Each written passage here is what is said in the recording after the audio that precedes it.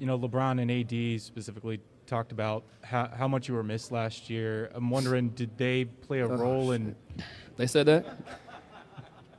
Give me a second. I missed you too, Rajon. Oh shit. Um, but uh, did did they did they play